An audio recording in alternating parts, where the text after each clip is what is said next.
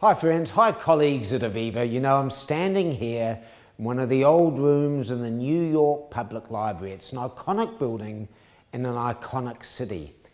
And it's been a long day. We started with breakfast and lunches and meetings and panels, and we're talking about one thing. We're talking about sustainability, and we're talking about what Aviva can do to help it. Tonight in the New York Public Library, we've launched what's called the World Benchmarking Alliance. It's about turning sustainability into a competitive sport. It's about ranking the companies globally from the best to the worst, from the top to the bottom. And it's about making it transparent, it's about making it public, and it's about making it free.